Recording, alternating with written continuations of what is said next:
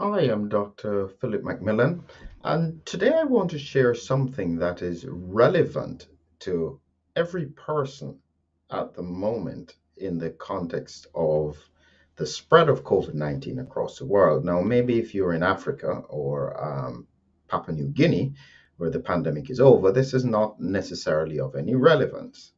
But for many parts of the world where COVID 19 is still spreading and continuing to circulate, we've got a problem where we need to control the circulation of the virus. Now, it's very important to know people keep on uh, describing COVID 19 as just another cold or a flu. Believe me, this is a pretty serious infection when you look at the impact of the spike protein, not just in terms of severe disease, but also in terms of the longer term um, bits. And so that's very, very important. And I think that as I have tried to rack my brain with regards to how to manage and how to support strategies across the um, across the world, I realize that we have to find innovative solutions in order to help make a difference. So, what I'm sharing with you here now is really important thinking. And this is something that you can do. This is something that you can encourage your family to do. So, let's start with an important piece of research. As usual, we start with research. What does the evidence tell us? We've been hearing for some time that vitamin D is not relevant in terms of COVID 19 and so on. And there, they did studies looking at whether or not COVID 19 infection was stopped with vitamin D.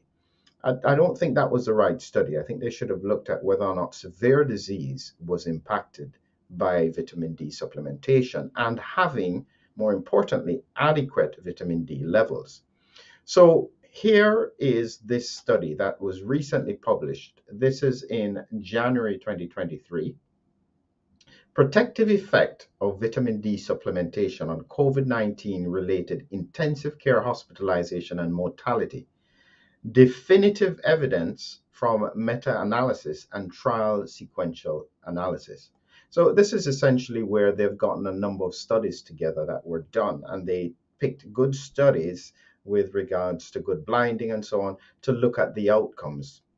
This was done in Italy. You can see the primary writer here is Cristiano Argano from um, Italy.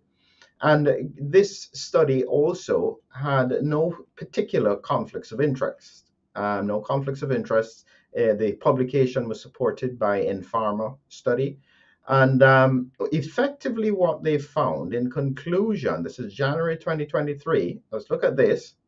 In conclusion, the positive results highlighted again with vitamin D, now validated by these studies, suggest an indisputable association between vitamin D supplementation and protective effect on ICU admission and can be considered definitive evidence.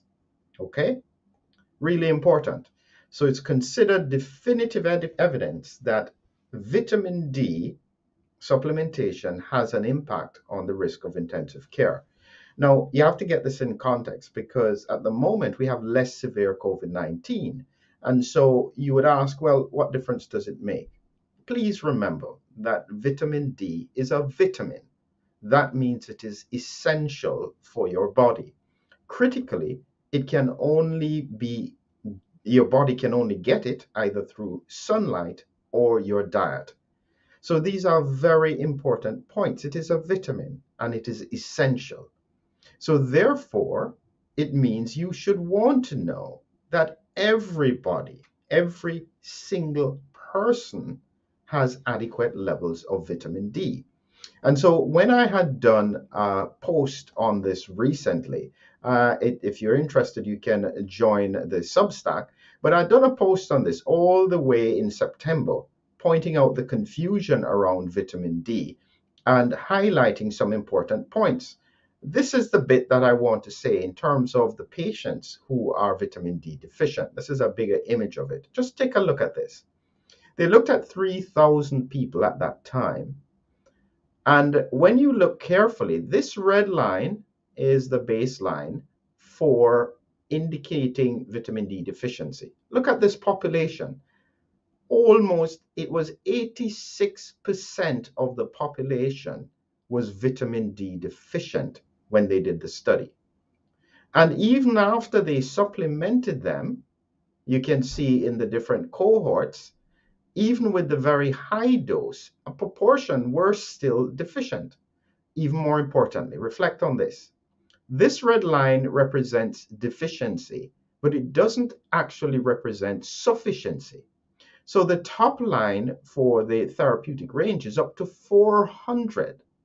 So you would assume that somewhere around 200 is probably the best place to be. And if you actually look at this, only a tiny fraction of the population, even after supplementation, got to about 200. That's very important. And so it highlights the fact that we have to think about vitamin D as firstly what its purpose is a vitamin. It's there to support the body, supports your immune system. This is where it gets very interesting. And it comes back to another paper that I highlighted. And if anyone saw my video on rhymes with pectin, I can't say the word because it's still considered a, a dangerous word to say on certain platforms. But this particular medication, when I looked at it, rhymes with pectin, um, and I'll, I'll show you here, uh, this, this uh, interesting breakthrough on what this drug can do was really insightful. And if you haven't seen it yet, there is a link at the bottom for you to click on and you'll be able to watch it. And in it, I focus on a very specific enzyme called PAK1. So I got this from this really critical study, Mechanisms of SARS-CoV-2 Entry into Cells. This was um, published some time ago, and it was looking at the mechanism by how the virus can get into cells. But actually, beyond this one, there was probably an even more important study that was looking in detail at how the virus got into cells. And this one was studying what the virus did when it was trying to infect a cell in the nose. So they had created these organelles, and here you have these cilia, and these cilia, the virus can bind to it, it then goes down these cilia to then enter into the cell. But guess what it does?